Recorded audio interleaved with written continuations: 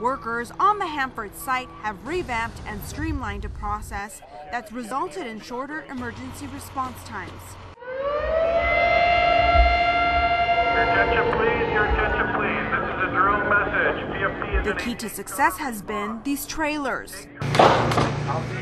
An idea proposed by a group of experienced workers. We take a lot of ownership in what we have, and we take a lot of pride when it rolls in. We are able to do jobs effectively and take care of the emergency scene as needed. In the past, spill response trailers were one of the few tools workers had for emergency response.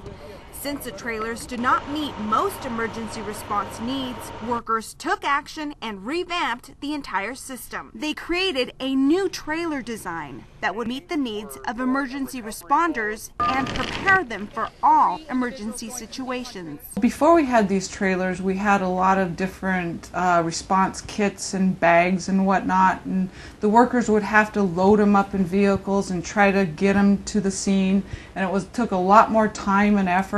And now these trailers have everything we need basically to get to the scene and respond and support the event. There are now five uniform trailers in the fleet, a key component to the emergency response strategy. Workers have designed all floor plans, supply areas, and equipment identical, making it easy for responders to find equipment in the same place regardless of which trailer it is. Ergonomic features were also improved to help emergency workers locate equipment in a safe manner.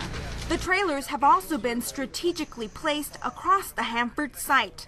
This improvement ensures trailers are available and mutually supportive regardless of where an emergency happens. The new system has resulted in many benefits, including decreased responder dress out times for personal protective equipment, decreased boundary setup times, and increased control at event scenes. The process has been fine tuned through emergency drill practice and worker feedback. I would like my fellow people and my fellow operators in the EP program to have something that they can use readily, that works effectively and efficiently. And that's what we do believe we have. Although this was a worker led initiative, the team thanks CH2M Hill management for its support. They really removed any uh, roadblocks and impediments we may have had to complete this. I don't think without management's input that these trailers would be in existence. And CH2M Hill management thanks the workers for their commitment to safety. Workers are the foundation for what we do on this site. Uh, their ownership of their safety and the safety of their co-workers uh, is the most important thing that you can have. CH2M Hill Vice President Ty Blackford says when you give employees the ability to take initiative, vast improvements in safety can be achieved. It makes you very proud when you can see that actually work. And it's real time, and here's a, here's a product that shows you it does work. Currently, assessments are being made to see if more trailers are needed to support other CH2M Hill projects on site.